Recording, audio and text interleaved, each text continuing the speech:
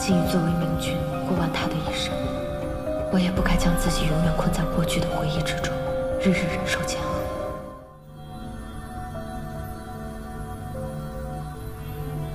叶修，好看吗？只有忘记谭太极，功力才能变强。李思索，专心一些。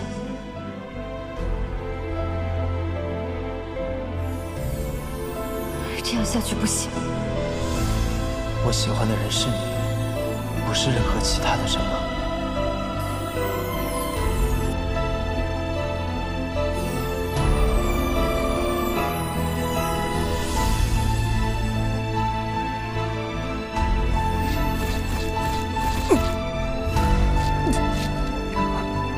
叶修，你也要抛弃我吗？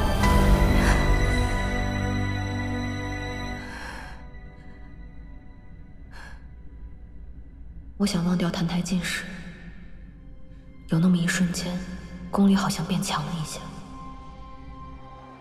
我也该彻底放下，追寻属于我的仙途。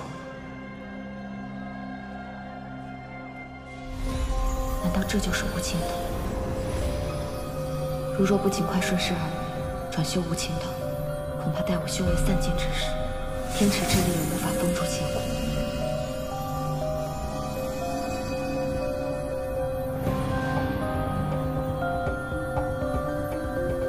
谭台烬宇作为明君，过完他的一生，我也不该将自己永远困在过去的回忆之中，日日忍受煎熬。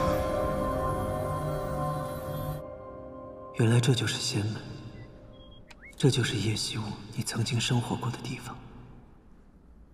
叶修，如果五百年前我就能感受到这些，该多好！小师弟，哎，小师弟，上次您走的匆忙，没来得及介绍。我是残海，你若遇到什么不便，只管找我就行。多谢师兄。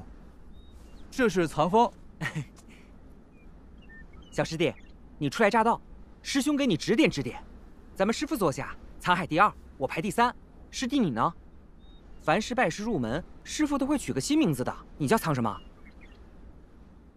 苍九明。哎，跟咱们的辈分不一样啊。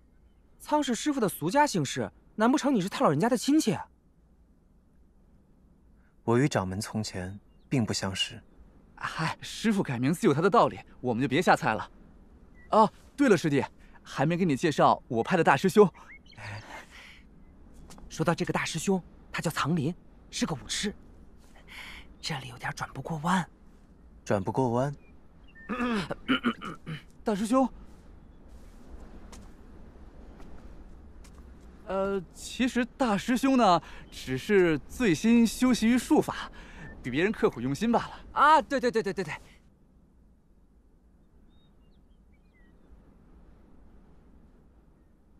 你是师傅新收的徒弟，要不要过两招试试？你定有特别之处，让我看看。哎哎，好了好了，九明师弟，你有伤在身，早点休息吧。我们先走了啊。对对对，大师兄，下次一定要切磋一下啊！过足瘾啊！下次切磋一下啊！哎，小师弟，仙门大比非常重要，可千万别忘了练习剑法啊！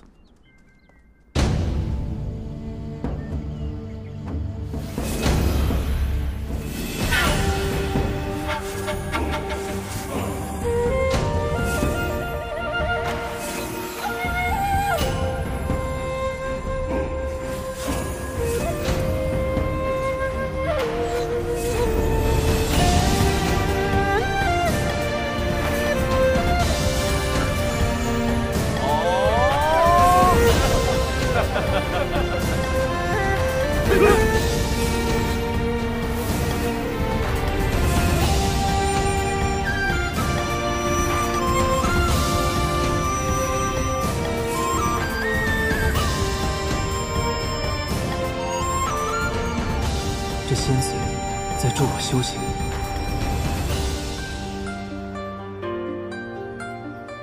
也行。